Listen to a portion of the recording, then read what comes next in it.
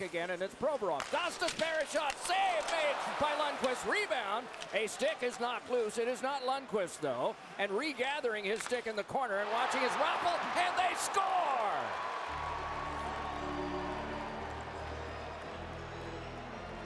It looked like Laughton in front was able to get the deflection.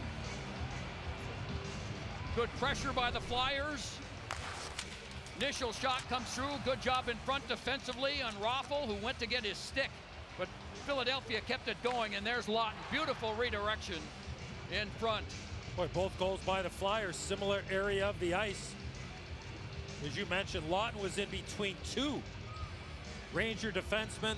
No chance for Lundqvist.